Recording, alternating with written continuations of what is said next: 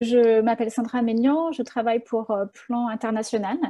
Et euh, aujourd'hui, avec euh, toute notre équipe, nous sommes très heureux de vous accueillir sur ce webinaire donc, qui porte sur l'impact du Covid-19 sur les programmes, les programmes pour les enfants associés aux forces et aux groupes armés. Donc aujourd'hui, nous allons parler de, notamment de trois contextes en particulier, la RDC, le Mali et, et la Centrafrique. Euh, mais avant de euh, vous présenter nos, intervenants, euh, je vais demander à Audrey Bollier, qui représente l'Alliance pour la protection de l'enfant dans l'action humanitaire, de faire une, une petite introduction. Audrey, c'est à toi. Merci, merci Sandra. Donc, bonjour à tous. Et comme Sandra vient de le dire, je suis Audrey Bollier, je suis la co-coordinatrice de l'Alliance pour la protection de l'enfance dans l'action humanitaire. Et je voudrais souhaiter la bienvenue à tous nos orateurs et participants d'aujourd'hui venus du monde entier. L'Alliance est un réseau interagence de plus de 100 membres qui travaille à l'établissement de normes et fournit un soutien technique. Depuis le déclenchement de la pandémie euh, Covid-19, l'Alliance a réagi en produisant une note technique disponible en version 1 et 2, ainsi que 10 annexes. Elle a aussi produit 26 webinaires et une série de podcasts. Toutes ces ressources sont disponibles sur le site de l'Alliance sous l'onglet Covid-19. Au début de la pandémie, les acteurs de la protection de l'enfance avaient commencé à exprimer leurs préoccupations sur la manière dont la COVID-19 pourrait affecter un groupe particulièrement vulnérable de garçons et de filles connus sous le nom d'enfants associés aux, armes, aux forces armées et aux groupes armés, ou également EAFGA. Les EAFGA désignent toute personne âgée de moins de 18 ans qui, qui est ou ou a été recruté ou utilisé par une force ou un groupe armé à quelque titre ce soit, y compris mais sans s'y limiter, les enfants utilisés comme combattants, cuisiniers, porteurs, messagers, espions ou même à des fins sexuelles. Nous savons que chaque jour, hein, nous savons que chaque jour qu'un enfant reste avec une force ou un groupe armé, il ou elle risque de subir des violences physiques, psychologiques et sexuelles, voire même de mourir. Les programmes qui empêchent le recrutement séparent les enfants des forces et des groupes armés et soutiennent le processus de réintégration sont autant d'interventions qui sauvent des vies. En mai 2020, l'Alliance a publié un document intitulé Messages clés et considérations relatives aux programmes concernant les enfants associés aux forces et groupes armés pendant la pandémie de Covid-19. Ce document, qui est disponible en anglais, en français, espagnol et arabe, est aussi disponible sur le site de l'Alliance. Je vous invite donc à aller euh, le regarder. Le document met en évidence les questions liées au programme de prévention et de réponse pour les EAFGA à la lumière des impacts socio-économiques étendus de COVID-19 et des mesures de confinement restrictives ou parfois répressives, ainsi que la dynamique unique de chaque contexte de conflit. Au cours des derniers mois, nous avons pu en apprendre davantage sur l'impact de la COVID-19 sur les programmes des EAFGA sur le terrain.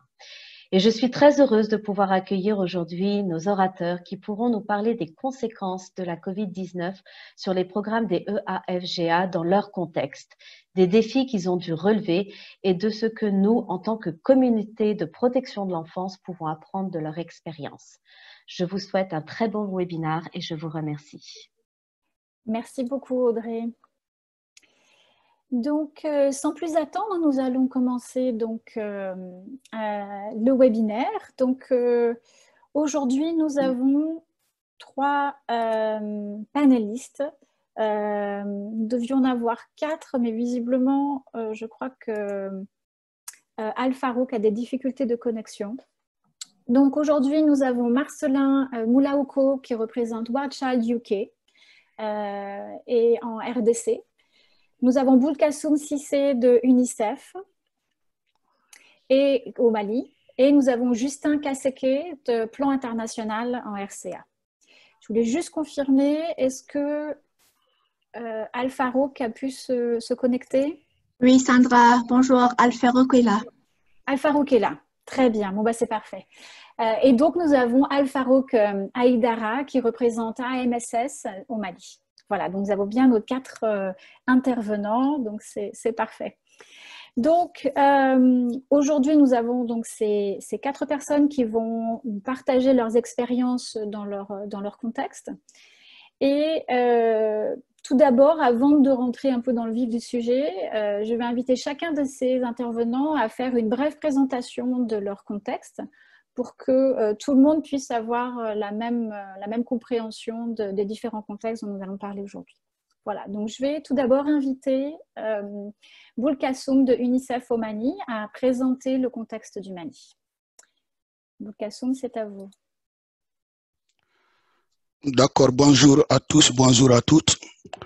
Je m'appelle Sissé Boulkassoum, je travaille pour l'UNICEF, spécialiste protection de l'enfant. Je suis basé à Gao. Donc, j'ai l'insigne honneur de vous présenter ce contexte à l'analyse de la carte que vous voyez devant vous, nous constatons qu'au Mali aujourd'hui, nous avons une forte dégradation du contexte sécuritaire. Comme vous le voyez, la carte, c'est une carte qui est répartie par euh, cercle, mais je m'en vais vous dire qu'aujourd'hui, au Mali, nous avons 10 régions administratives et le district de Bamako qui sont fonctionnels. Mais cependant, sur ces 10 régions fonctionnelles, nous avons 7 régions qui sont des zones conflictuelles où, qui ont, où nous constatons une forte présence des groupes armés. Donc, euh, il s'agit de deux régions au centre du Mali, la région de Ségou et la région de Mopti. Donc, euh, à ce niveau, nous avons des sacerds d'Ozo, nous avons des milices PEL et nous avons des groupes radicaux. Tous ces groupes utilisent des enfants. Si nous poursuivons, nous remontons vers le nord qui constitue les deux tiers du territoire national. Nous constatons une forte présence de groupes armés aussi au niveau des cinq régions. Il s'agit de Tombouctou, Gao, Menaka, Kidal, Taoudeni. Et donc, à ce niveau, nous avons dénombré à peu près plus de 22 groupes armés. Et ces 22 groupes armés sont dans des regroupements. Le premier regroupement est la CEMA, la coordination des mouvements de l'Azawad, qui regroupe trois groupes.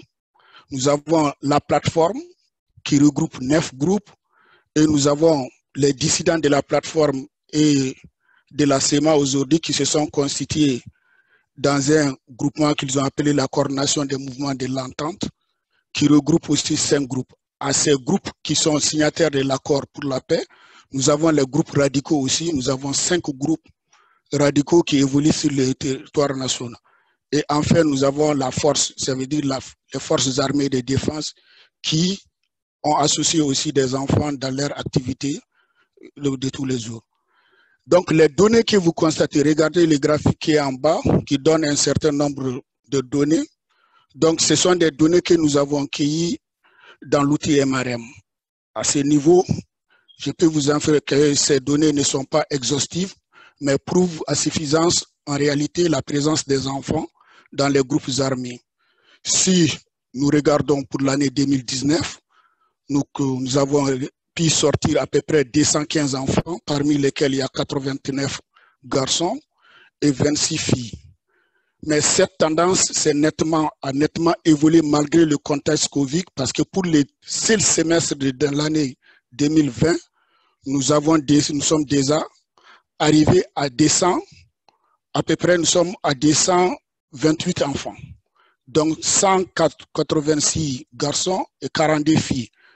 Les raisons, c'est la dégradation de la situation sécuritaire, mais surtout à l'amélioration au renforcement de notre outil de monitoring. Nous avons plus d'acteurs sur le terrain et qui nous aident à faire ce monitorage. Mais il faut aussi signaler que tous ces enfants qui ont été séparés, nous sommes parvenus dans le cadre du dialogue communautaire. Aucun de ces enfants n'est sorti à partir du processus normal du DDR. Le processus normal du DDR a été pratiquement pour nous un échec parce que ça a été une tribune où les enfants, tous ceux qui étaient présumés enfants, se sont retrouvés avec des documents falsifiés pour pouvoir passer. Donc ça, c'est des réalités du terrain. Donc c'est le dialogue communautaire que nous avons entretenu et qui nous a permis de faire ressortir sortir ces enfants parmi. C'est le groupe. Quand nous parlons des formes de recrutement, principalement, il faut se dire que vraiment c'est volontaire. Mais à ce statut de volontaire, beaucoup d'enfants partent vers ce par manque de ça et là. Mais nous constatons aussi que ces enfants partent vers le groupe aussi parce que nous, les conflits qui s'exercent au Mali, ces conflits sont un peu, comme on appelle, communautaires, où ces groupes sont des groupes ethniques. Si je dis tout de suite MNLA, c'est à peu près les Ifogas et les Alliés. Si je dis tout de suite Gatia, c'est les Imra des Alliés. Si je dis tout de suite Gandakoui, c'est Sora Alliés. Donc, ce qui veut dire, c'est donc chaque parent se sent redevable du groupe pour les intérêts de sa communauté. Et ça, ça peut pousser aussi à ce qu'on a. Et enfin, quand on est dans, un, dans une zone où les groupes terroristes vivent, donc ce qui veut dire pour raison, pour pouvoir se sécuriser au consort, pour qu'on ne vous traite pas de mécréants, si un de vos enfants est, comme on appelle, va vers ce groupe et que vous voulez refuser, vous mettez votre vie en danger. Tout cela Les facteurs de recrutement, c'est le contexte que je viens de décrire, un climat d'insécurité et de violence qui est aujourd'hui vraiment très, très, très, très renforcé. Il y a la prolifération des groupes armés, nous avons plus de 25, pratiquement 22 vers le nord. Au centre, c'est beaucoup plus de milices qui existent. Et c'est au centre aussi que nous avons cette intensification du conflit intercommunautaire. Autre facteur aussi sur lequel nous pouvons nous baser, c'est la faiblesse et l'absence des services sociaux de base. Pour la simple raison, aujourd'hui, au Mali, nous avons à peu près plus de 1200 écoles qui sont fermées. C'était fermé parce que les interventions, l'insécurité a poussé à faire. Et quand Covid est venu aussi, toutes les écoles ont été fermées. Donc ça, c'est autre facteur, c'est le manque d'opportunités. Nous sommes avec des adolescents et des adolescentes qui ont des besoins spécifiques et les écoles sont fermées. Beaucoup parmi sont des enfants qu'on appelle déscolarisés ou non scolarisés et qui ont des besoins que la famille ne parvient pas à les donner. Ça peut les pousser à aller vers ces groupes vraiment ces groupes armés ou ces groupes radicaux qui les poussent, qui les donnent quelque chose. Et enfin, ce qui veut dire la pression familiale que je viens de développer, la protection des biens de la famille pour sa propre, c'est des zones où l'État est pratiquement absent et obligé de collaborer avec ces groupes, des fois au détriment de, de leurs propres enfants. Voilà un peu de façon résumée le contexte au Mali. Je suis à votre disposition pour les questions éventuelles. Je vous remercie. Merci Bokassoum. Euh, très intéressant cette présentation du Mali et, un contexte assez, euh, assez particulier. Euh, maintenant, je vais inviter Justin de la Centrafrique à, nous présenter son contexte. Merci beaucoup Sandra pour, pour la parole. Je, je me sens vraiment très honoré de vous présenter le contexte de la Centrafrique. Et comme vous le voyez sur la carte, la Centrafrique regorge jusqu'à présent 14 groupes armés actifs. Il y a beaucoup de milices, il y a beaucoup de sous-groupes qui sont liés, c'est des sous-groupes euh, armés satellites liés ou attachés à ces groupes armés, mais les principaux sont estimés à la date d'aujourd'hui à, à 14, les officiels, ceux qui sont reconnus.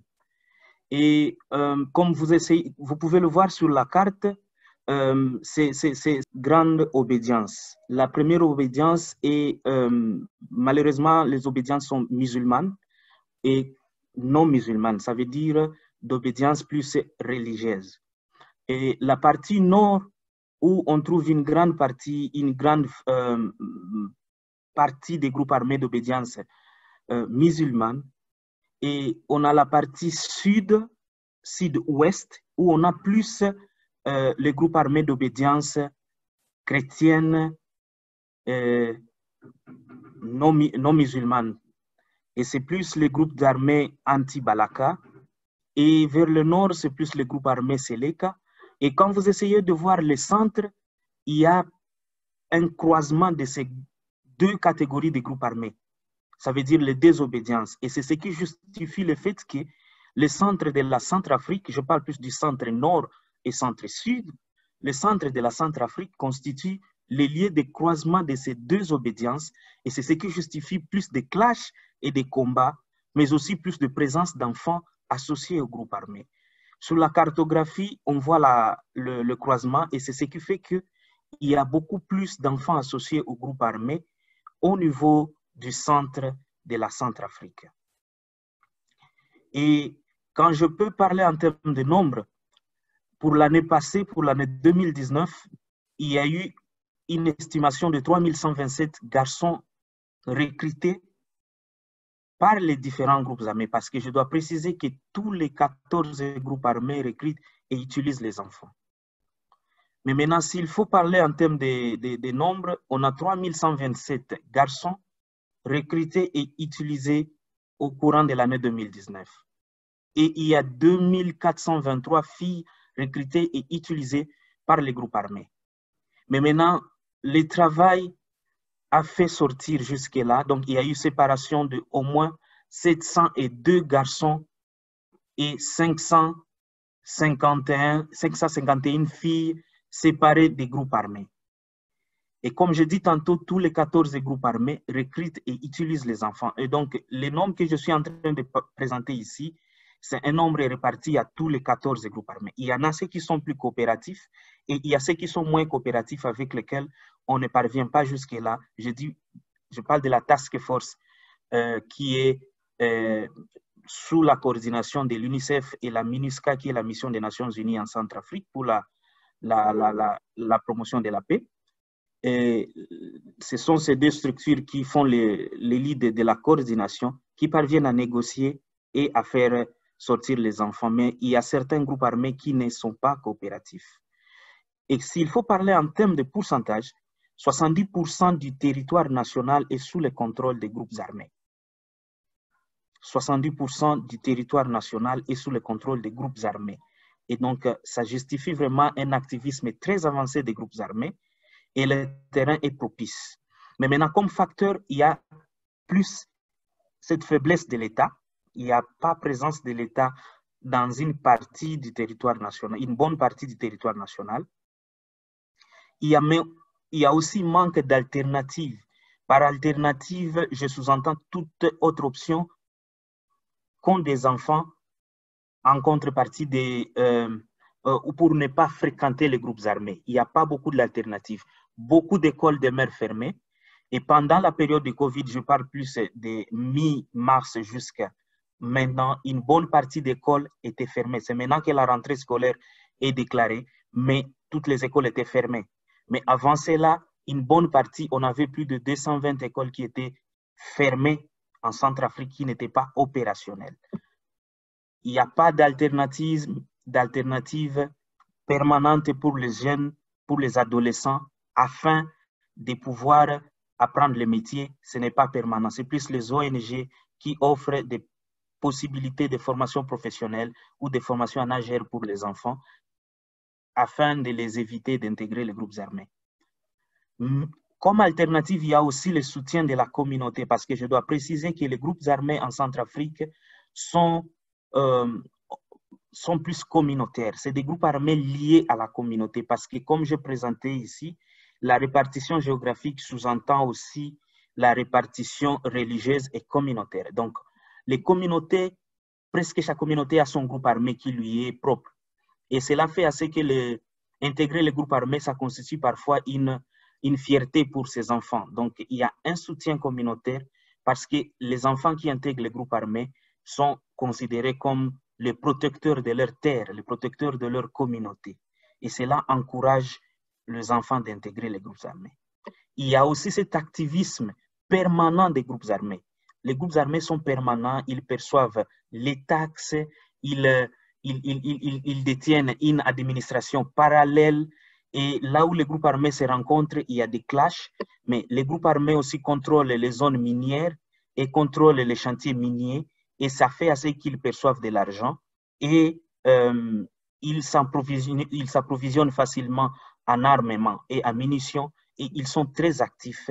Et cela constitue un grand facteur pour le recrutement, de manière à ce qu'un enfant peut quitter euh, le groupe armé, il peut bénéficier d'un programme, mais quand il est inséré dans la même communauté où le groupe armé est toujours actif, avec la même influence, il y a une forte probabilité pour ce genre d'enfant de réintégrer encore le même groupe armé. Au fait, en peu de mots, c'est un peu ça la présentation du contexte euh, de la Centrafrique. Je vous remercie pour votre attention et je, suis, euh, je reste disponible pour la suite. Merci beaucoup. Merci Justin. Oui, un, autre contexte vraiment euh, intéressant et, assez différent finalement quand même de, du Mali. Euh, et donc maintenant, je vais inviter Marcelin pour euh, nous faire une présentation du contexte de la République démocratique du Congo. Bon après-midi à tous et merci Sandra pour euh, cette opportunité. Euh, en effet, je suis Marcelin Moularouko pour le compte de Orcha du UK en République démocratique du Congo. Euh, en effet, c'est depuis près de 24 ans que la RDC, mon pays, fait face à une instabilité sécuritaire et beaucoup plus dans sa partie est. Euh, cette instabilité est beaucoup liée par euh, l'entrée depuis 1994 sur son sol des réfugiés, parmi lesquels il y avait des personnes porteuses d'armes. Cela a fait que euh, les communautés s'organisent pour faire face à certaines tracasseries que euh, ces populations, ces populations de placés et réfugiés commençaient à perpétrer sur les communautés locales en s'organisant en forme d'autodéfense populaire et en forme de groupes armés. Et donc, euh, on va retrouver sur le sol congolais une multitude, une multitude de groupes armés euh, plus de 100 d'ailleurs qui sont dénombrés en ce moment. Et ils sont généralement répartis en deux catégories. Donc, il y a euh, des groupes d'obédience étrangère et des groupes internes, qu'on dirait des groupes armés nationaux. Et ceux qui sont d'obédience étrangère s'organisent sur le sol congolais pour plus tard penser ou espérer renverser le pouvoir euh, dans leur pays d'origine ou de provenance.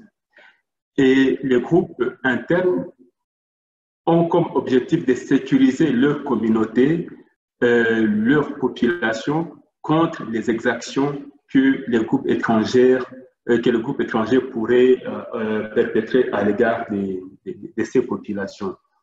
Malheureusement, tous ces groupes-là, étrangers ou internes, recrutent des enfants euh, en ce moment, pour euh, le compte de l'année 2019, nous avons estimé à 1936 garçons et 289 filles qui ont été recrutés par ces groupes. Je dis bien, nous avons estimé parce que jusqu'à présent, en RDC, il n'y a pas un système, un système officiel pouvant permettre de dénombrer les, les enfants qui rejoignent ou qui sont recrutés par euh, ces groupes si ce n'est que le mécanisme MRM qui sont fonctionnels, opérationnels dans certaines zones et qui ne le sont pas dans certaines autres. Et 1679 garçons et 269 filles ont été séparés de ces groupes et ont été pris en charge jusque euh, ce mois d'avril 2020. Cette, euh, cette statistique est partagée par le cluster protection au niveau national. Euh, parlant de, des formes de recrutement, généralement, il y a des enrôlements forcés, des rafles par exemple, ou des enlèvements, mais aussi il y a des recrutements volontaires et donc des enfants et jeunes qui partent vers les groupes armés parce qu'ils veulent imiter les autres, parce qu'ils sont influencés par les autres. Mais aussi, il y a euh, de, ces, de ces parents qui envoient leurs enfants, et généralement les enfants et jeunes de sexe féminin, vers le groupe pour que ces familles ou ces parents puissent bénéficier de la sécurité et ne pas être victimes d'actes de représailles de par le groupe qui sont opérationnels dans leur zone. Mais aussi, il y a des autorités ou des leaders communautaires qui s'identifient dans certains groupes et cherchent à les soutenir. Et donc, pour les soutenir, il faut mobiliser les familles afin que ces dernières puissent contribuer à la survie des groupes en envoyant les enfants, en envoyant les jeunes. Et là, on fait allusion à des milices tribales. Comme facteur de recrutement, nous nous sommes rendus compte que le facteur principal, c'est ce manque d'opportunités. Et donc, il y a un accès difficile euh, à l'éducation et à l'emploi par les jeunes, même si euh, avant la période, il y avait ce, ce que le gouvernement parlait de la gratuité scolaire, mais il y a toujours certaines exigences que le parent desquelles le parent n'arrive pas à se défaire. Et donc, les enfants et jeunes qui se sentent euh, non encadrés profitent ou pensent qu'en allant vers un groupe leur permettrait de subvenir à leurs besoins. Il y a aussi comme facteur la faiblesse de l'autorité de l'État et beaucoup plus les tensions interethniques. Donc, par rapport aux tensions interethniques, il y a une, une, communauté qui se sent insécurisée par rapport à une autre communauté et qui pense que la meilleure façon de se sécuriser, c'est de former euh, un groupe armé et faire face à, à l'autre communauté ou à l'autre tribu. Mais aussi, euh, nous nous sommes rendus compte que comme facteur, il y avait la création euh, des milices pour garantir le contrôle, pour faciliter le contrôle de certaines richesses, richesses euh, du sous-sol, mais aussi des richesses ou des terres fertiles. par rapport aux richesses des sous-sol, c'est beaucoup plus de groupes qui sont par moments soutenus par des mains invisibles. Voilà un peu ce que je peux présenter en ce qui concerne le contexte de la RDC et je reste disponible pour euh, tout enrichissement. Je vous remercie. Merci beaucoup. Merci Marcelin. Euh, donc, après ces présentations, maintenant, nous allons passer à une série de questions. Donc, euh, le format de ce webinaire est, un petit peu différent. nous avons une série de questions auxquelles les différents intervenants vont répondre en fonction de leur contexte.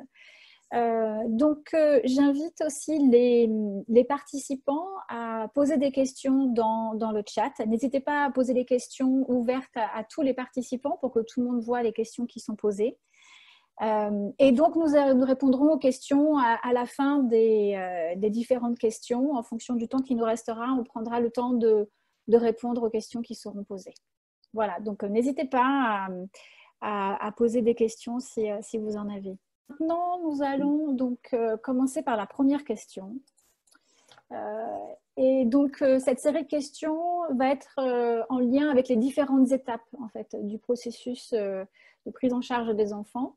Et donc, nous allons commencer par les difficultés que vous avez rencontrées dans la prévention du recrutement des enfants associés aux forces et groupes armés à cause du Covid ainsi que les solutions, les leçons apprises que vous avez identifiées. Donc, euh, je vais inviter euh, les, les intervenants à, partager leur expérience euh, dans leur contexte. Donc, je vais tout d'abord inviter Al Farouk, qui représente AMSS au Mali, à nous parler de leur expérience dans, dans la prévention. Al Farouk, c'est à vous. Merci beaucoup. Merci beaucoup de m'avoir donné la parole. Bonjour à tout le monde. Moi, c'est euh, Alfarou Kaidara, superviseur à l'AMSS, ONG de mise en œuvre des activités de, de l'UNICEF. Donc, dans ce cas de figure, les difficultés que nous, nous avons rencontrées qui sont liées euh, à la COVID sont la fermeture des écoles, qui a renforcé l'exposition des enfants au recrutement dans nos zones d'intervention, qui sont déjà des zones d'insécurité à cela aussi s'ajoutent les, restrictions de rassemblement qui ont provoqué un ralentissement des activités communautaires et de sensibilisation, telles que des activités des clubs de jeunes, des activités au niveau des espaces amis des enfants et les activités de sensibilisation sur la protection de l'enfant et la prévention du recrutement. Et ces, ces mêmes aspects ont affecté aussi les activités de dialogue communautaire pour la prévention et la détection des cas. Maintenant, voilà en quelques lignes les difficultés, les défis auxquels nous étions vraiment exposés. Maintenant, par rapport à ces difficultés, nous avons préconisé des solutions. Voici les solutions que nous avons mis en, en première ligne, c'est la sensibilisation en cascade. C'est-à-dire, nous avons sélectionné 240 jeunes volontaires, dont 40% des filles, bien formées et opérationnalisées à la technique de sensibilisation par terre. C'est-à-dire, chaque jeune doit sensibiliser au moins cinq personnes sur le recrutement des enfants et les mesures préventives de la COVID. Ça, c'est la première solution que nous avons mis en place. Ensuite, nous avons aussi limité le nombre des enfants qui fréquentent les espaces amis des enfants à 15 par séance, tout en respectant les gestes barrières au niveau de nos espaces amis des enfants. Et à cela s'ajoute aussi la concentration et l'orientation de nos activités en faveur des enfants les plus exposés, c'est-à-dire les enfants non scolarisés, les enfants des écoles coraniques et les enfants déscolarisés. Donc, pour plus de visibilité et plus de, toucher plus de personnes, nous avons créé aussi une page sur Facebook dénommée Club SAP, c'est-à-dire euh, Club SAP, ça veut dire euh, Club de, de, soutien aux activités de la protection de l'enfant, et C4D, Communication pour le développement, pour la diffusion des messages clés sur le recrutement, les mesures préventives de la COVID, la publication de nos activités de sensibilisation, des visites à domicile, porte à porte et des sketchs aussi, sont réalisés en même temps par les jeunes eux-mêmes. Maintenant, pour résoudre le problème de la, du dialogue communautaire, nous avons mis en place un, groupe de euh, WhatsApp permettant de maintenir les dialogues communautaires sur les sujets sensibles de la communauté en lien avec le recrutement des enfants et la protection de l'enfant de façon générale. Maintenant, euh, ce que nous pouvons retenir comme leçon apprise, vraiment, c'est l'implication forte de la communauté. Parce que nous, nous sommes partis à la base et nous avons fait en sorte que la communauté, elle,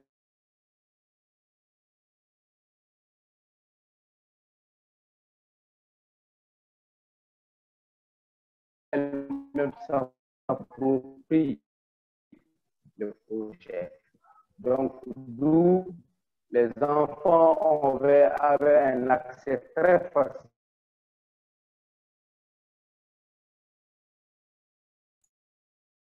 C'est là aussi l'utilisation des nouvelles technologies, qui est les téléphones. L'utilisation des nouvelles technologies, qui est le téléphone Android, qui permet, ben, aujourd'hui, chaque jeune est doté d'un téléphone qui lui permet de maintenir les connexions entre eux donc voilà ces deux éléments qui ont été vraiment déterminants pour continuer nos activités au niveau de nos communautés, de nos communes d'intervention. Je vous remercie et je reste disponible pour les, questions éventuelles. Merci.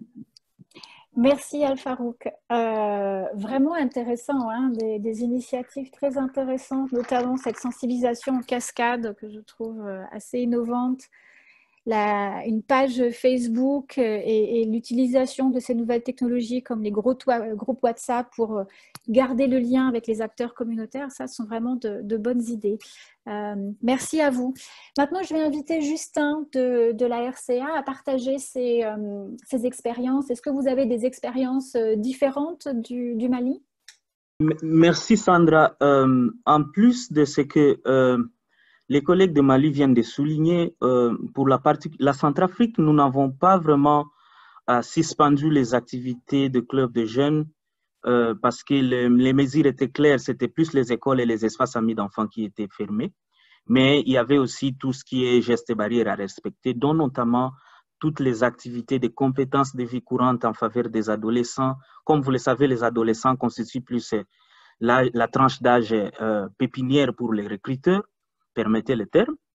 Alors nous, on, a, on, a, on s'est focalisé plus sur les activités des clubs de jeunes, les activités des clubs d'adolescents et nous avons euh, revu, le, le, nous avons mis en place au niveau du groupe de euh, du sous-cluster protection de l'enfance, en appui avec certaines organisations comme Plan International, comme IRC, comme euh, World Vision, nous avons mis en place des lignes directrices qui nous ont permis de, de mettre en place un, un, module qui pourrait faciliter euh, les, les, les, les travail avec des groupes plus restreints, plus réduits. Parce qu'on était conscient du grand danger que couraient les adolescents une fois délaissés, une fois euh, abandonnés par toutes les activités d'encadrement. Et cela nous a facilité de garder un contact avec eux, mais la difficulté était que ces activités devraient se réaliser dans le strict respect des gestes barrières et ça a pris du temps. Ça a pris plus du temps et plus de moyens. Et ça, c'était vraiment la principale difficulté que nous avions eue. Mais maintenant, particulièrement aux filles qui euh, étaient plus exposées aux activités, euh, aux activités des, des, des, des, commerces, parce que la Centrafrique est alimentée plus par le Cameroun. La Centrafrique n'a pas l'accès à la mer. Elle est économiquement alimentée par le Cameroun. Et l'accès du Cameroun, en fait, plus de 80% des cas confirmés en Centrafrique étaient exportés du Cameroun, étaient venus du Cameroun. Alors, l'axe qui venait du Cameroun était plus à risque. Et c'est les filles qui vendent plus de, fruits, plus font des restaurants ambulants sur la, route. Alors, nous, on a utilisé cette, euh, cette stratégie de des, des, des, des, mécanismes communautaires, des clubs des filles, on appelait plateformes des filles. Et c'est ce qui nous permettait de faire des sensibilisations pair à pair. Et c'était ça même la leçon que nous, nous avions tirée dans cette, euh, dans, cette, dans cette période, parce que par rapport à ça, pour nous, le mécanisme communautaire était une palliative très importante par rapport à cette situation. Le mouvement était restreint. Il y avait une restriction de mouvement. Les ONG ne pouvaient pas facilement se déplacer, surtout sur certains axes. Mais grâce au mécanisme communautaire, on a intensifié les activités de prévention malgré la, le contexte de Covid. Et ça, c'est vraiment la, la, la, bonne leçon que, que nous devons partager ici, était de, de, de, de, nous de remarquer que l'investissement dans le mécanisme communautaire nous a permis de renforcer notre prévention pendant la COVID, la période de COVID-19.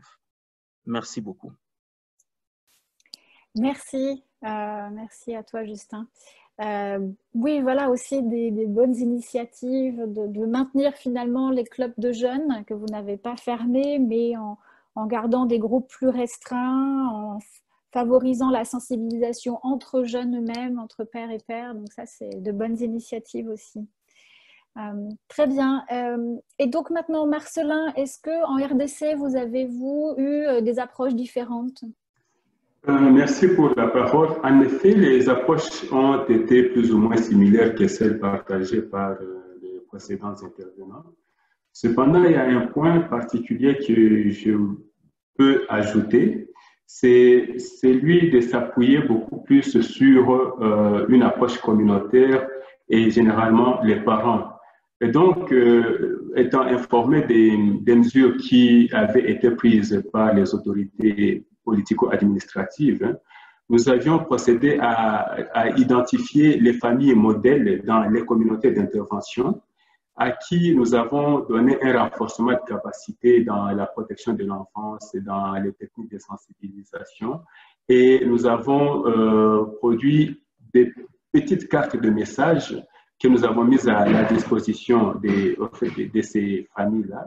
Et maintenant, chaque famille devrait aller vers euh, d'autres ménages pour parler de la protection de l'enfance, pour parler de la prévention par rapport au recrutement des, enfants, mais aussi dans, en fait, sur ces cartes, nous mettions un numéro euh, qui pouvait être euh, composé un numéro vert, donc, que nous, appelons la ligne verte 117, et que si tout parent sent qu'il a besoin d'autres informations supplémentaires sur la prévention des, des, enfants, sur le droit des enfants, ou s'il y a des enfants qui se sentent en danger, hein, qui ont besoin d'une protection, il pourrait alerter directement euh, en appelant ce numéro.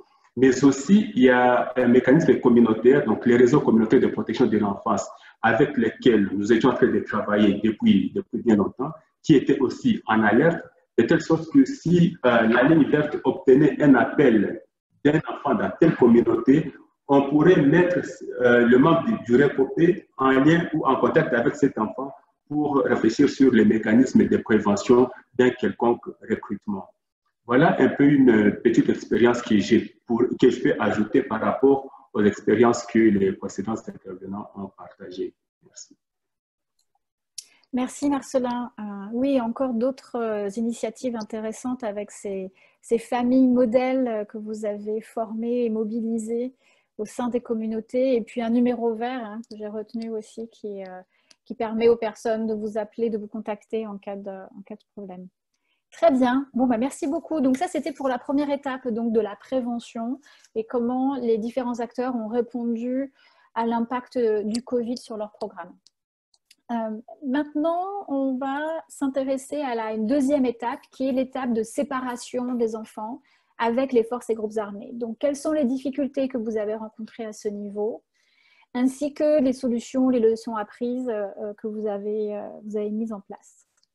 Donc, je vais tout d'abord inviter euh, Justin euh, de la RCA à partager son expérience.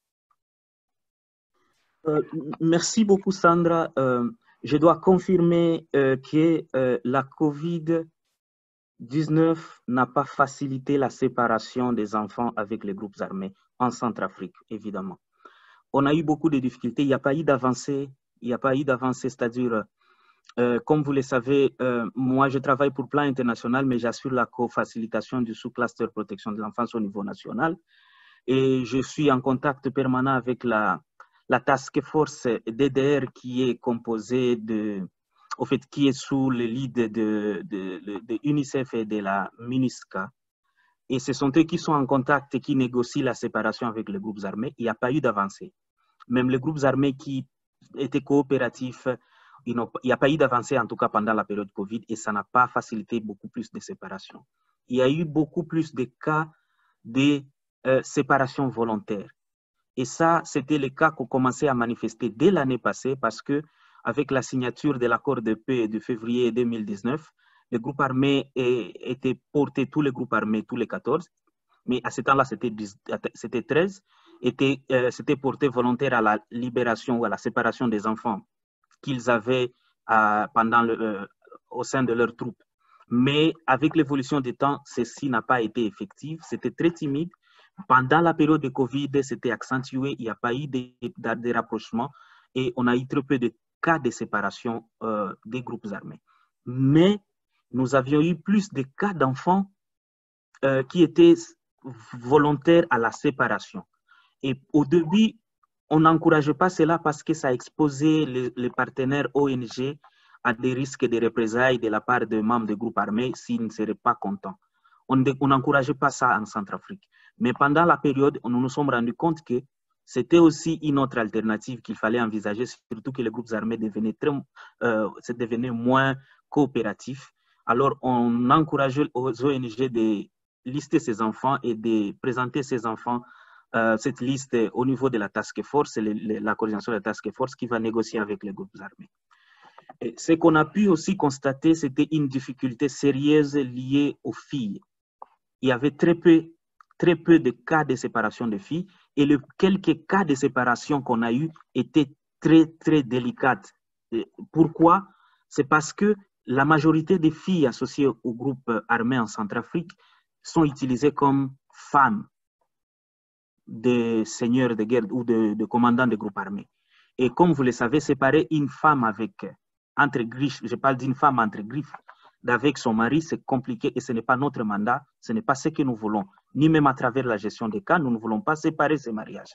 Nous voulons juste mener des plaidoyers pour que euh, les commandants des groupes armés ne puissent pas utiliser leurs femmes dans leurs activités militaires.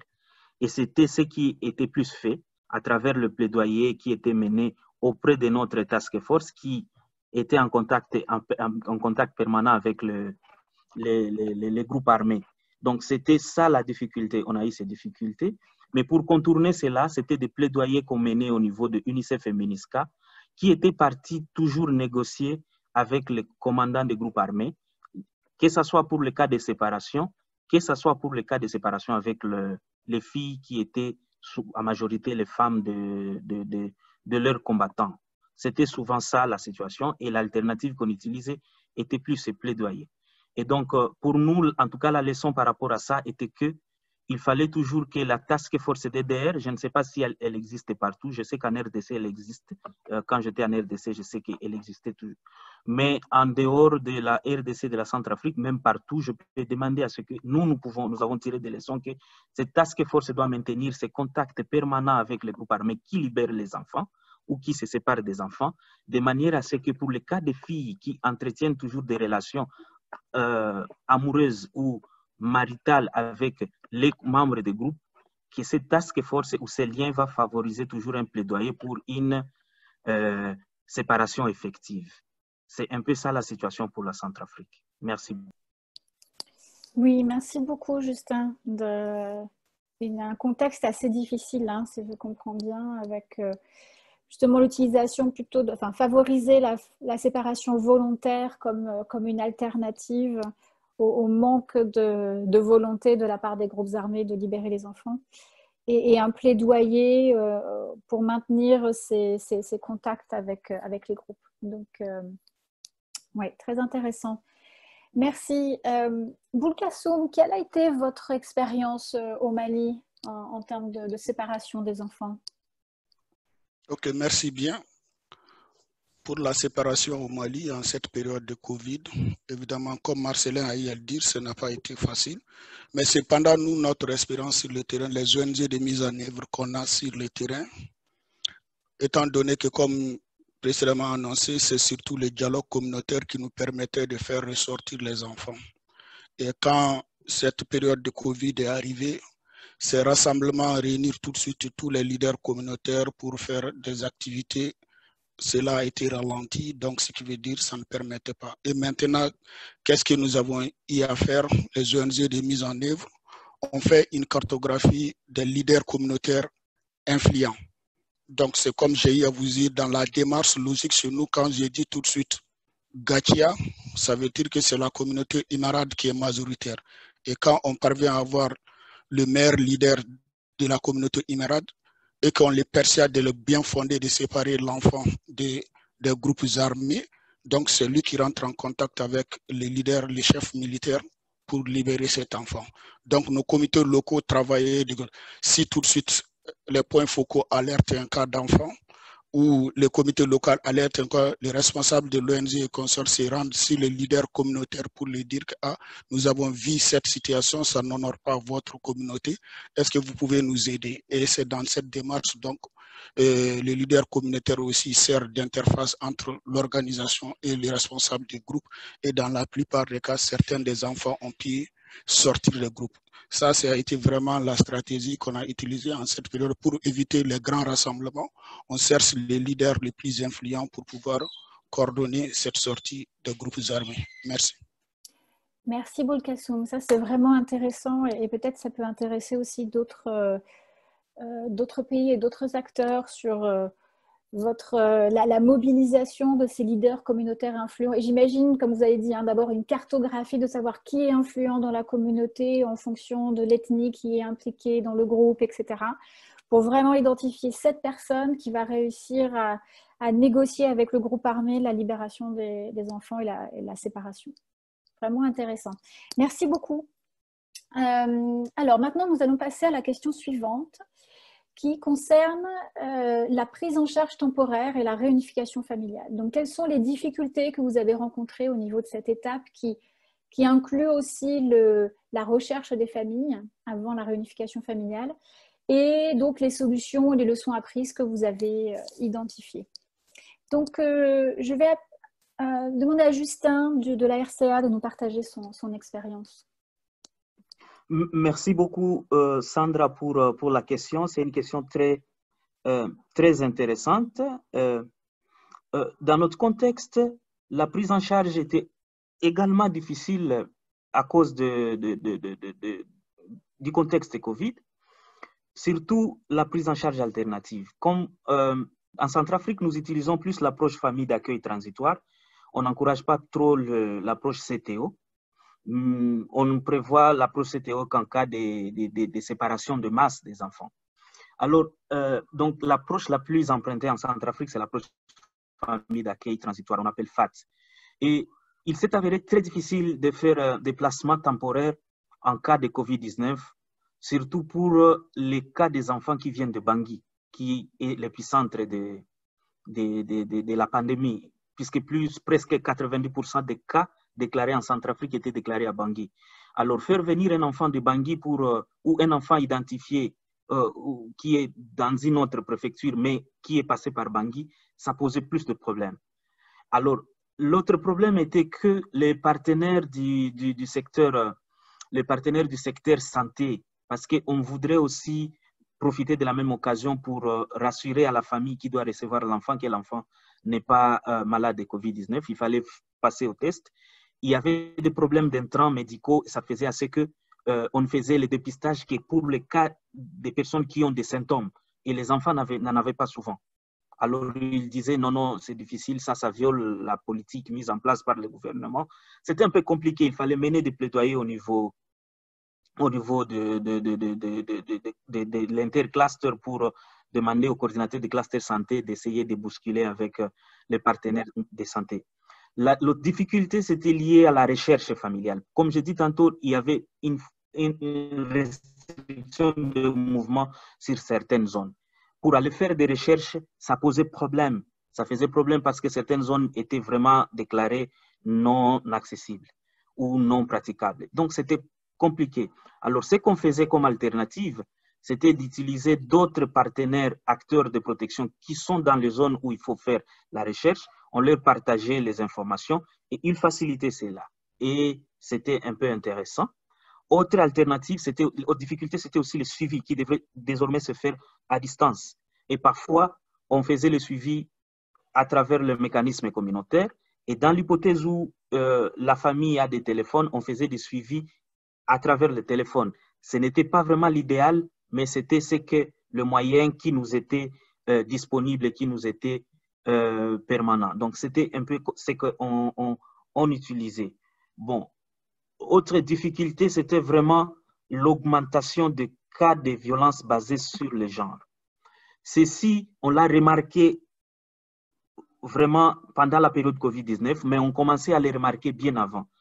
Euh, bien avant, les taux étaient de, de violence basée sur le genre étaient des, des taux de violence basés sur le genre à l'égard des enfants étaient de 42%. Ceci euh, était ressorti de la JBV-AMS avant la pandémie.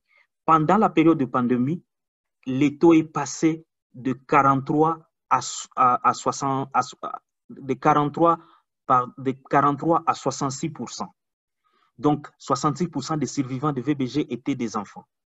Et on ne s'est pas lié cela aux enfants associés au groupe armé, mais nous avons estimé que les enfants étant les enfants associés, les filles associées au groupe armé, étant plus, à risque de violence basée sur les genres, donc on pensait que ça devrait être la même situation parce qu'il n'y a pas eu de recherche qui a été qui a démontré cela clairement, mais cela a été démontré sur l'ensemble des enfants. Nous avions supposé que pour le cas des enfants associés, des enfants filles associés au groupe armé, ça devrait être encore plus sérieux chez eux.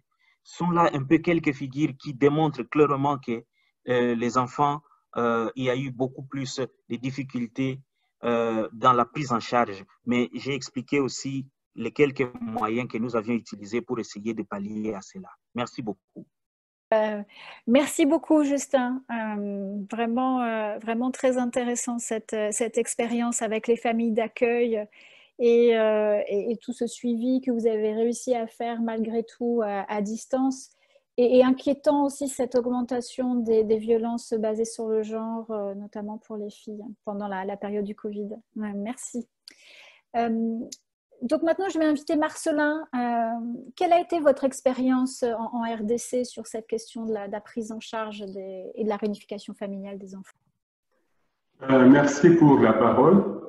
En fait, euh, pour la prise en charge, d'abord en ce qui concerne les rétablissements des liens, tant avec la famille qu'avec la communauté, la difficulté majeure était la restriction des mouvements. Et pour ça, nous étions obligés de rendre plus local le processus de recherche, de médiation et, de réunification. Même lorsqu'il s'agissait d'obtenir ou de négocier les attestations de sortie, du moment que nous ne pourrions pas quitter d'une zone vers une autre, nous étions obligés de nous appuyer sur les autres acteurs selon qu'ils sont dans les zones où les attestations pourraient être obtenues. Et plus spécifiquement l'UNICEF qui, euh, qui couvre une grande, une euh, partie de la zone, qui tout le temps pourrait nous aider à aller vers le, bureau des FARDC pour solliciter les attestations par rapport aux faveur des, enfants. Euh, nous devions aussi nous appuyer sur un réseau de moniteurs de protection éparpillés sur presque l'étendue du territoire couvert pour que elle puisse ou il puisse nous aider à faire la recherche des familles, à faire des médiations, mais aussi plus tard à faciliter la réunification des enfants avec leur famille. Pour euh, les, les, les, recherches de réunification extra-provinciale, nous étions obligés de nous appuyer aussi sur le CICR, et, etc. Mais par rapport à la prise en charge transitoire, comme les autres collègues, nous ne travaillons pas que, ne travaillons que sur euh, euh, les FAT ou avec les familles d'accueil transitoire, nous étions obligés de renforcer, vraiment de renforcer les capacités euh, des familles d'accueil transitoire pour aussi prendre en, considération des aspects de prévention COVID. Mais aussi, sachant qu'il y a eu une difficulté qui, qui, a fait que les familles, toutes les familles d'une manière globale, y compris les familles d'accueil transitoire, ont, ont été paralysées par rapport au mécanisme de survie. Et donc, nous devions continuer à les appuyer, à prendre en charge la prise en charge de certains enfants, donc à travers des petites contributions. Mais aussi, nous avons organisé ces fêtes à une ou à des associations sans but lucratif et nous avons donné des, activités génératrices de revenus pour qu'elles puissent continuer à prendre en charge les cas d'enfants qui pourraient être placés en, fait, au sein de, ces dernières et ne pas dépendre des subsides, des subsides qui proviendraient des projets qui ont euh, des budgets limités. Donc, c'est une expérience qui nous a permis vraiment d'assister, de prendre en charge un nombre aussi important d'enfants qui allait au-delà du, nombre qui était peut-être budgétisé. Voilà un peu ce que je peux dire par rapport à l'expérience de, de, de la RDC en cette thématique. Merci Marcelin. Bon, ça c'est euh, intéressant aussi. Donc la, mobilisation des autres acteurs sur le terrain qui, qui étaient déjà présents dans des localités où après vous n'aviez plus accès. Euh, donc notamment UNICEF ou CICR, effectivement, ça ce sont de, de bonnes pratiques. Et puis, euh, puis l'intervention auprès de ces familles d'accueil transitoire euh, et, des AGR que vous leur avez fournis pour continuer à assurer la, prise en charge des enfants pendant cette période de crise. Euh, ça, ce sont vraiment de bonnes idées. Merci beaucoup, Marcelin.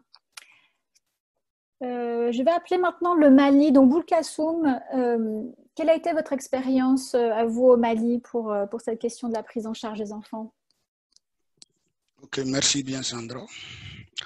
Bon, juste dire que je partage certains points de mes, euh, de, de mes prédécesseurs, mais je voudrais signaler ici au niveau de la prise en charge temporaire. Au Mali, nous avons les CTO et nous avons les familles d'accueil. Les deux initiatives sont à notre niveau pendant cette période une des mesures que nous avons pu prendre pour limiter au moins quand même les risques, c'est vraiment la réduction de notre capacité au niveau des CTO. Parce qu'au niveau des CTO, si je prends le CTO de Gao avait une capacité de 60 enfants. Mais avec quand le Covid est arrivé, nous avons ramené ça à 25 enfants parce que c'était des lits superposés qu'on avait, tout ce que c'est, pour assurer une bonne prévention de la maladie. Et ce qui veut dire à ce niveau, chaque matin, les températures des enfants sont prises et le matin et le soir pour continuer à, parce que nous n'avons pas souhaité que les CTO soient fermés. Nous pensons que nous devons continuer à délivrer les services tout en respectant les mesures barrières. Donc c'est dans ce cadre que ce dispositif a été, on a réduit substantiellement le nombre pour prendre vraiment le nombre qui nous pensons que quand nous parvenons à le faire, ça peut, euh, ça peut marcher. Autre point aussi qu'on a pu faire, on avait une activité qui était vraiment fondamentale pour nous.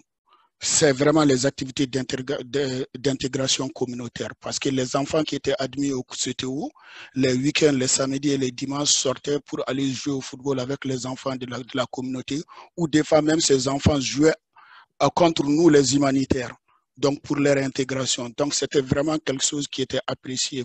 Mais malheureusement, quand le Covid était arrivé, ces activités qui, comme ont été arrêtées. On était obligé de voir qu'est-ce qu'il faut faire pour que les enfants puissent garder le moral. Donc les dimanches, en réalité, l'équipe restreinte sort en deux pour aller faire en sorte que les enfants puissent s'entraîner au niveau du terrain et retourner au centre. Mais les activités, on a renforcé la thérapie du groupe. Ce qui veut dire les enfants dans l'enceinte du CTO, en respectant les as barrières, on faisait une séance par semaine, mais maintenant nous faisons deux séances. Donc les enfants vont s'asseoir autour de la table et le psychologue ou l'animateur. Donc chaque enfant peut rencontrer une histoire pour que le, on fait tout pour que cette période de, comme on appelle, comme on dit tout de suite, des restrictions, des, comme, des, ne puisse pas impacter sur elle.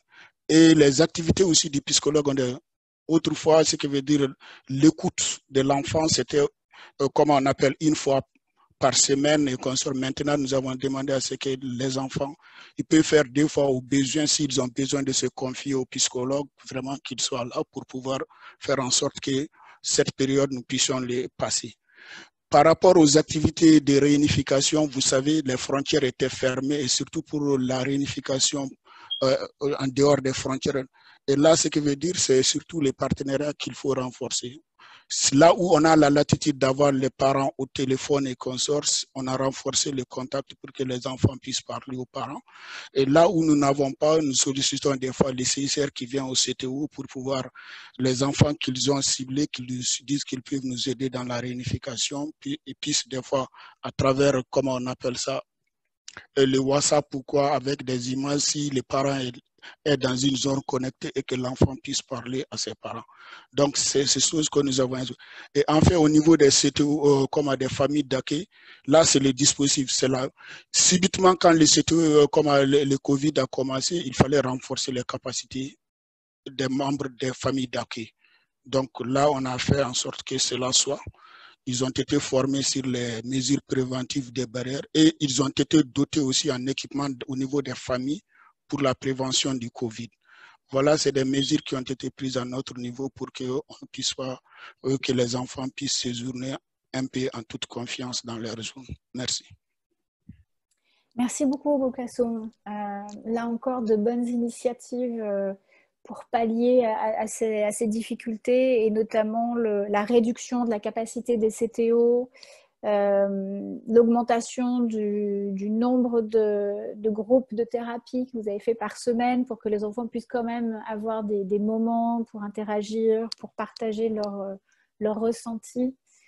Et, euh, et, le maintien du contact avec les parents pour les enfants qui, j'imagine, devaient être réunifiés et finalement, euh, peut-être la réunification a été décalée. Donc, maintenir ce lien à distance à, travers le téléphone lorsque c'était possible. Je pense qu'effectivement, ça a été certainement très important pour, ces enfants.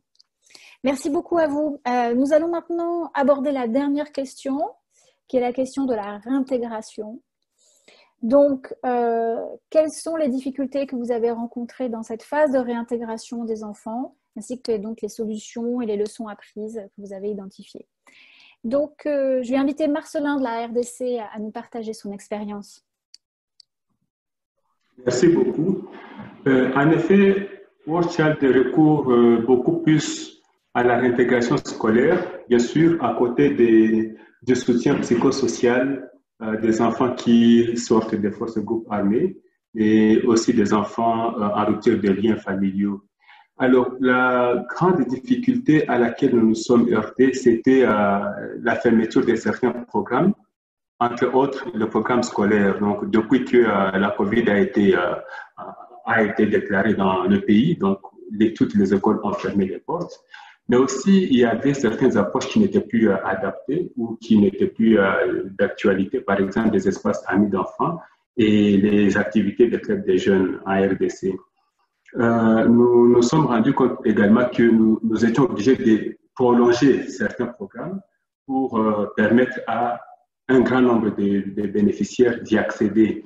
Donc, on devrait organiser des activités en fait, dans des petits groupes. Alors, la façon dont nous avons fait pour que, nonobstant ces difficultés, les enfants puissent continuer à bénéficier des minimums de protection, c'était d'abord la négociation des calendriers de réintégration avec tous les bénéficiaires. Donc, si c'est des programmes fermés, nous n'avons pas à faire, si ce n'est que conscientiser les enfants, qu'ils comprennent et qu'ils attendent à ce que le programme soit réouvert. Euh, nous avons aussi, comme je le disais tantôt, organisé, surtout pour les activités de soutien psychosocial, organisé des, activités avec des petits nombres d'enfants selon qu'ils sont proches. Et là, on se forçait de ne pas dépasser un nombre de, de 20. Et malheureusement, ça avait un coût parce qu'une activité qui devrait prendre autant, avec 2, 3, 4 encadreurs, nous étions obligés de la multiplier. Euh, nous étions aussi butés à une difficulté telle que les produits de l'intégration devenaient rares et très chers sur le marché. Et donc là, nous étions obligés de, pour en fait, d'élargir nos procédures d'acquisition. Donc, pour acquérir un produit sur le marché local, nous étions obligés de faire une publication large, peut-être qui puisse couvrir même trois provinces, Ainsi, nous pourrions trouver un produit qui n'est pas disponible dans une localité vers une autre province. Donc, euh, c'était ça les quelques stratégies que nous avons mises en place. Mais l'autre, c'était de suivre les orientations qui étaient données par le groupe thématique. Par exemple, par rapport à tout le, processus de gestion des cas, il y a eu euh, d'abord des réflexions au départ sur les outils à utiliser et les outils qui ont été vraiment adaptés prenant en considération l'aspect COVID. Et c'est ces outils que nous avons utilisés et qui nous ont aidés vraiment à faciliter le processus d'apporter un soutien à la réintégration des enfants. Merci beaucoup, euh, Marcelin. Donc ça, c'est de bonnes... Euh, euh, de bonnes idées, oui, pour pallier à ces difficultés de, d'achat, notamment de, de, biens qui pouvaient être rares sur, euh, sur une localité. Donc, élargir un peu les lieux où vous pouviez faire les achats, faire toutes ces activités en petits groupes. Donc, ça, j'imagine que de, nombreuses organisations ont été confrontées à ces mêmes difficultés. Merci à vous. Euh, Justin, est-ce que vous avez rencontré des, situations similaires ou comment avez-vous abordé cette question de la réintégration?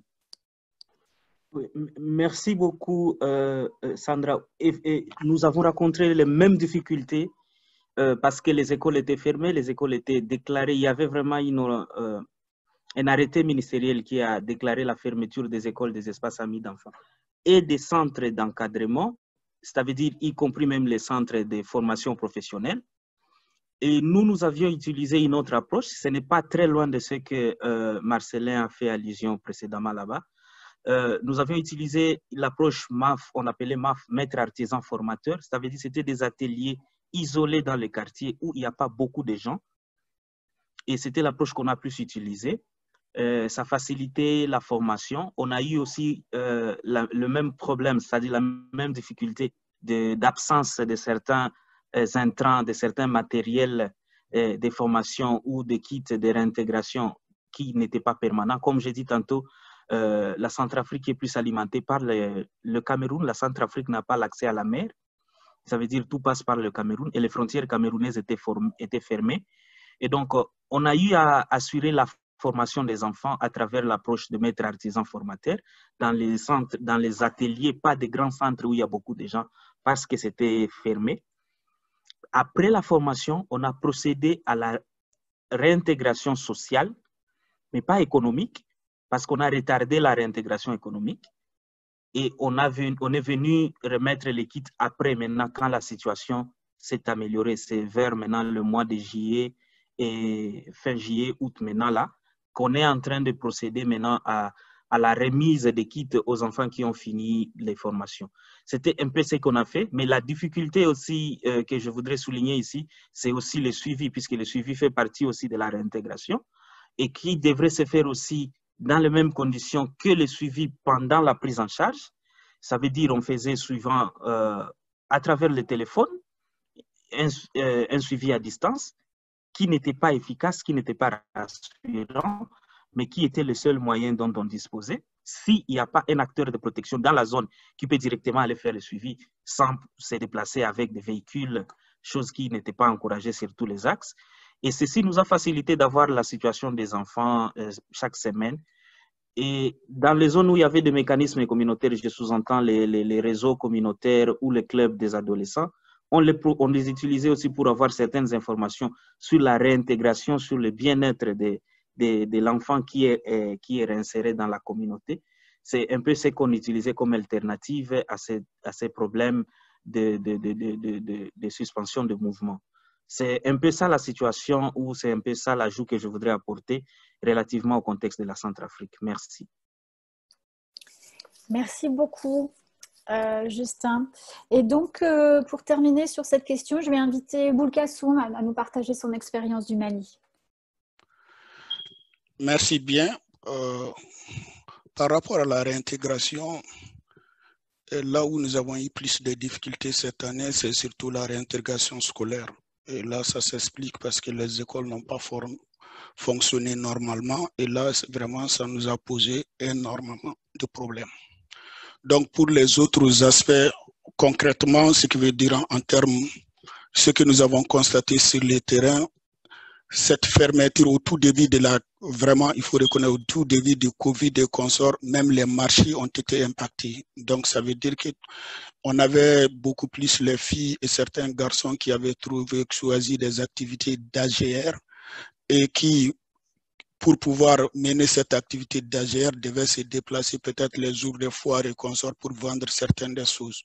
Donc, avec euh, le Covid et l'insécurité grandissant sur les zones, ces activités ont été fortement impactées. Et la réflexion, une réflexion qui s'est déroulée à notre niveau, on a dû laisser la latitude à ces bénéficiaires de voir s'ils décident de vous une réorientation de leur activité. Si on pense que c'est rentable, nous les accompagnons. Donc ça, cette liberté, nous avons. Deuxième aspect, ce qui veut dire tout de suite, pour après la réintégration, pendant cette phase, avec la réduction des, euh, comment on appelle, du mouvement et tout ce que nous faisons. Heureusement, nous, on a sur le terrain ici, bon, nous avons à peu près 60 au nord, pratiquement les ONG qui sont en train de mettre, euh, euh, les activités sont des ONG locales, les ONG nationales. Donc, ce qui veut dire ils ont des points focaux auprès de ces communautés et au centre aussi, ces ONG comme l'ONG internationale utilisent des ONG nationales pour pouvoir mener ces activités. Qu'est-ce qu'ils font? Donc le point focal qui est là-bas, des fois ils partagent pour nous. Si nous avons assuré tout de suite une réunification, l'embouche pour un enfant qui est là-bas, fréquemment par semaine, le point focal qui est là-bas prend des photos par WhatsApp et nous envoie pour dire que bon, voilà comment l'activité de l'enfant évolue. Ou des fois, si c'est une activité sous forme de boutique ou ici les coiffeurs, on nous envoie des images qui nous rassurent un peu quand même que les activités continuent sur le terrain. Nous utilisons, cela veut dire que nous utilisons et les nouvelles technologies à partir de, nos points focaux qui sont dans ces communautés pour pouvoir suivre ces activités. Mais la phase qui est la plus impactée, c'est vraiment la réunification scolaire. Merci. Merci beaucoup, Bokassoum. Donc aussi des, difficultés similaires hein, dans les trois pays sur euh, la scolarisation, les activités génératrices de revenus. Euh, je trouve ça intéressant que vous ayez proposé donc une réorientation des activités et, puis tout comme euh, la, RDC, vous avez aussi euh, ou la RCA pardon, vous avez mobilisé le réseau communautaire avec donc tous ces points focaux qui, sont déjà sur place. Donc de très bonnes idées. Très bien. Donc merci beaucoup à, tous. Euh, Yang, est-ce que nous avons des, questions de la part des participants? Alors euh, oui, Sandra, on a plusieurs des questions. Alors la première vient de notre collègue euh, Sylvie Nibizi. Alors Sylvie, s'il vous plaît, si vous voulez allumer votre micro et poser la question à les panélistes. OK, alors si c'est pas possible, c'est pas problème. Peut-être je vais poser la question pour euh, Sylvie. Alors, merci. Alors, bonjour, merci pour la présentation de Mali. Je voulais une explication plus détaillée sur la stratégie de dialogue communautaire avec ses effets euh, sur la prévention de recrutement.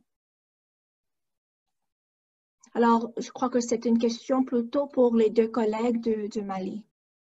Alors, euh, euh, c'était quoi la stratégie de dialogue communautaire et est-ce qu'il y avait un effet aussi sur la prévention du recrutement? Bonjour tout le monde. Je vais essayer de répondre à, la question de Sylvie. Donc, euh, par rapport au dialogue communautaire, nous soulevons des sujets, c'est-à-dire des sujets sensibles au niveau communautaire, toujours relatifs à la prévention du recrutement. Donc, c'est dans ce sens qu'il y a des dialogues, il y a des échanges autour de ces, questions. Au niveau communautaire, ils essaient d'apporter des solutions. Vous verrez, on peut avoir tout de suite, comme il a dit, la réintégration. Il y a des communautés où il n'y a pas de, de, partenaires pour la réintégration des enfants. Donc, à ce niveau, qu'est-ce que, quelle stratégie on peut adopter pour que l'enfant soit réintégré? Donc, nous faisons l'identité ou des coutures euh, on confie l'enfant à un maître tailleur ou à un maître euh, de menuisier métallique, parce que ça, c'est le choix même de l'enfant. Parce que tout ce qu'on fait, on l'adapte au choix de l'enfant. L'enfant peut choisir d'être peut-être un apprenti tailleur. Vous voyez, donc ça, c'est au niveau, c'est des solutions communautaires. Juste pour garder l'enfant à un certain moment. Donc, et, et puis, c'est volontaire. Voilà les stratégies que nous mettons en place dans le cadre de la prévention et dans le cadre de la protection même de façon générale de l'enfant. Merci, Alfarouk. Merci. Alors, pour Casson, je ne sais pas si vous pouvez ajouter quelque chose sur les dialogues communautaires. Oui, le dialogue communautaire, à la suite de mon collègue, qu'on comprenne, depuis la mise en œuvre de nos différents projets, nous nous sommes dit que vraiment, si nous voulons aller loin, il faut que ces communautés soient vraiment fortement impliquées et qu'ils soient les acteurs pour la sortie des enfants. Et donc, ce qui veut dire les ONG qui, sont, qui ont été identifiées sont partis dans les chefs-lieux de communes et des fois jusqu'au niveau des villages. D'abord, si l'élu local existe là-bas, autour de lui, on a appelé les chefs traditionnels, les chefs religieux et de quoi donc c'est autour de la table, on les a expliqué la philosophie du projet, c'est pour le mieux-être de nos enfants. Donc, ça a commencé d'abord par la présentation du projet, après nous avons créé un cadre. Et ce cadre, ce qui veut dire à chaque fois, parce que c'est un cadre pour la sortie des enfants. Vous vous rappelez, dans mon intervention, été, je vous ai dit que nos groupes, en réalité, ont une connotation beaucoup plus ethnique et ces enfants sont associés vraiment, des fois pensant qu'ils sont redevables vis-à-vis de leur communauté et que donc il faut qu'ils soient. Quand l'ONG vient les explique en réalité, oui, même si vous défendez un idéal, il y a une situation sur laquelle vous ne pouvez pas faire parce qu'un enfant n'a pas de sa place, n'est pas dans le groupe. On explique. Quand les leaders communautaires comprennent, c'est eux qui deviennent les porte-flambeaux maintenant pour la suite de la sensibilisation.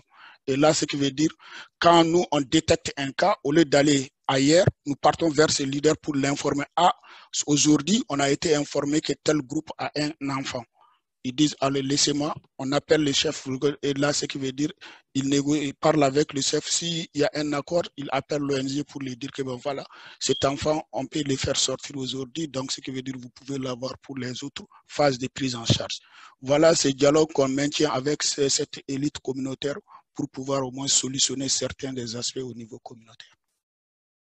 Merci beaucoup, Bokasson. Je vois qu'il y a aussi une collègue, Aliou, qui aimerait compléter. Alors, Aliou, euh, s'il vous plaît, vous pouvez allumer votre micro. Ok, bonjour à tous et à toutes. Moi, c'est Aliou Youssouf Maïga. Je suis responsable d'un CTO Gao au Mali, dans le nord du Mali.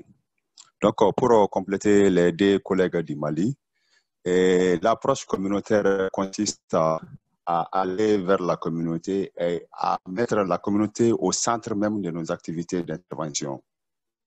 La communauté elle-même s'approprie des connaissances et des notions qu'on a dans la prise en charge de ces cas d'enfants. Donc, ça se passe comment? À travers euh, des groupes cibles tels que les chefs des groupes armés ou bien les chefs de communautés donc, c'est à travers euh, ces personnes nous adhérons, nous intégrons la communauté. C'est notre porte d'entrée. Donc, on les explique. Les paquets d'intervention qu'on a, dont nous disposons. Par exemple, moi, en tant que responsable de CTO, j'ai fait savoir les paquets disponibles dans mon centre. Et l'objectif même de mon centre, à quoi mon centre consiste. Donc, je les explique et les communautés adhèrent. C'est eux, à leur tour maintenant, de sensibiliser les bases donc, c'est à travers ces sensibilisations-là qu'on parvient à retrouver des enfants informellement du cadre DDR formel. Donc, mhm. beaucoup de groupes armés ont adhéré à notre idéal. Ils ont compris. Beaucoup nous faisaient comprendre qu'au départ, ils ne comprenaient pas. Parce que quand un enfant vient volontairement, on ne peut pas le refuser. Mais maintenant qu'ils ont appris qu'il y a des mécanismes tels que les MRM, les six violations graves des droits de l'enfant, on les explique, ils ont pris et ils adhèrent volontairement sans les imposer quoi que ce soit. Nous aussi, on ne les promet rien parce que nous, notre objectif, c'est vise l'intérêt supérieur de tous les enfants. Donc, euh, sans discrimination ethnique ou bien religieuse ou toute, toute, toute coloration. Donc, en grosso modo, c'est ce que je voulais ajouter à, ce que les deux autres collègues ont dit. Je vous remercie. Merci beaucoup, Aléo, pour, euh, pour cet ajout. Donc, euh, pour finaliser ce que mes collègues viennent de dire, ce qui est très important dans ce programme, c'est que nous, on a constaté que si, imaginez, nous avons au moins 240 jeunes. Parce que dans un premier temps du projet, on avait même formé 1128 jeunes. Donc, tous ces jeunes qui ont eu des notions sur le recrutement, la prévention du recrutement, on peut dire qu'ils sont en dehors. Vous voyez, ils ne pourront plus retourner vers ces groupes armés parce qu'ils savent les conséquences. Oui. Parce que c'est eux-mêmes qui font la sensibilisation. C'est eux-mêmes qu'on met devant les choses, ils, à travers les plans d'action qu'eux-mêmes ils veulent. C'est en fonction de ça que nous, nous intervenons. Donc, Mhm. vous voyez, ça, ça, ça met au moins de côté tous ces enfants qui ont eu la chance de bénéficier de ces formations et ne pas retourner vers ce groupe. Voilà, c'est Oui. ça qui est très, très important. Voilà. Merci beaucoup, Alfarouk. Alors, je veux donner la chance pour les autres questions. Alors, euh, il y avait une question de- qui vient d'une collègue, Amedou Afizou. Alors, la question était, et je crois que c'est pour tous les panélistes, euh, dans votre expérience, est-ce que les groupes ou les forces armées reconnaissent la gravité du COVID-19 comme tel pour en tenir compte lors de vos interventions? Alors, est-ce que les collègues de DRC ou CAR a noté, noté ça ou non? S'il te plaît, Yang, je peux répondre? Oui, oui, s'il vous plaît, je sais. Ok, je, pour, pour répondre d'une manière un peu plus rapide, je dirais, je dirais que oui, parce que euh, dans notre contexte, par exemple, dans le contexte de CAR, de la Centrafrique, euh, la, les- la faible séparation des enfants n'était pas due au fait que le groupe armé n'était pas, euh, n'était pas, euh, pas reconnu ou ne voulait pas, euh, ne voulait plus continuer à collaborer, mais c'était parce que c'était plus du côté de nous acteurs qui, euh, du fait des COVID-19, certaines activités étaient, n'étaient plus réalisées normalement. C'est pour ça qu'il y a eu faible taux de séparation. Mais de leur côté, je pense, oui, ils étaient conscients parce que pour certains cas, quand il y avait des sensibilisations autour de ça, ils étaient aussi intéressés et ils étaient aussi euh, appliqués, ils cherchaient à comprendre quelles mesures à mettre en place. Je pense que je peux confirmer dans notre contexte que oui. Merci beaucoup, Justin. Euh, alors, euh, oui, Pocasson?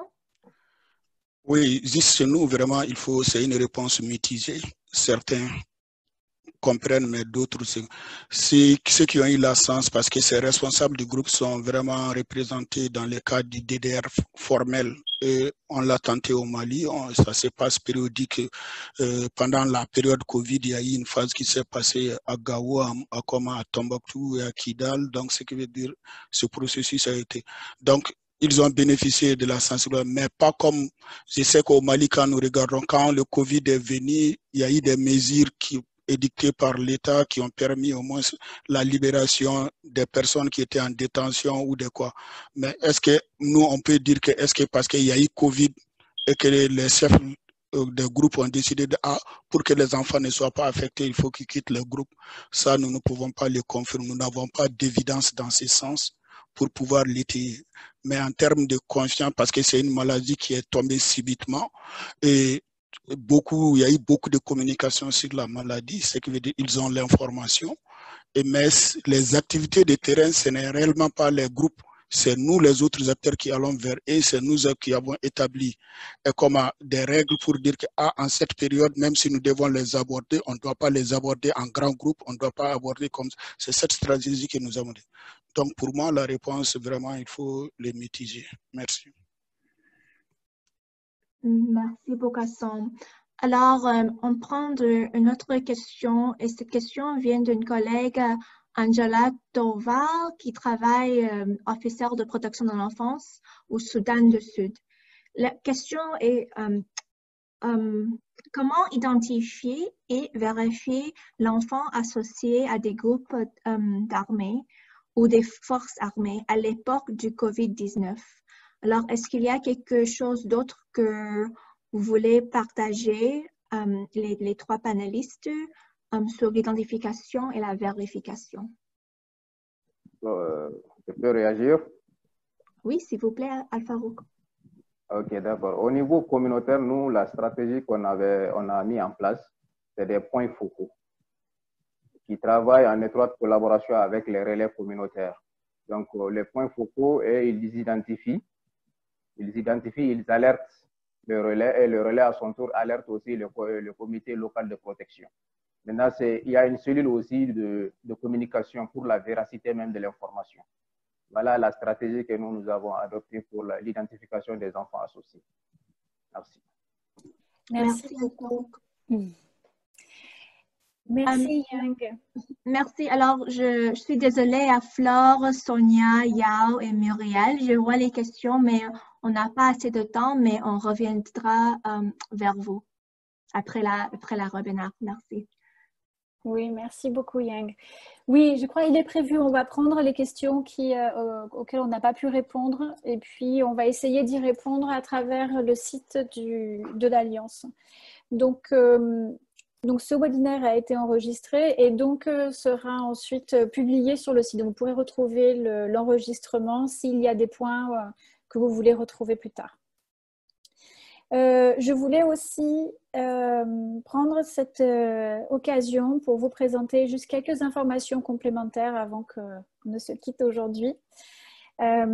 et tout d'abord, la formation d'un nouveau groupe de travail ou task force au niveau global sur les enfants associés aux forces et groupes armés. Donc, c'est une task force qui a plusieurs objectifs, notamment le développement d'outils et de lignes directrices le renforcement des capacités des acteurs sur le terrain, une communauté de pratique avec euh, des occasions de, partager des expériences comme nous l'avons fait aujourd'hui avec ce webinaire, euh, et la coordination, le plaidoyer. Voilà.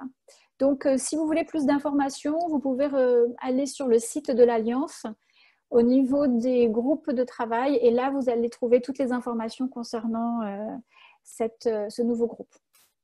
Et je voulais aussi vous informer qu'il y a euh, donc euh, une note technique spécialement sur les filles associées aux forces et groupes armés qui est en cours de rédaction et qui sera finalisée d'ici la fin de l'année et aussi traduite en plusieurs langues, dont le français. Donc cette note technique sera ensuite diffusée très largement à travers tous les réseaux de l'Alliance euh, et autres. Et donc voilà, j'espère que vous pourrez aussi nous faire un retour sur ces différents éléments. Voilà, donc c'est la fin pour nous aujourd'hui. Euh, je remercie euh, sincèrement tous les intervenants qui ont, pris du temps pour préparer ce webinaire. Donc merci à vous et merci aux participants pour euh, leur attention et leur participation.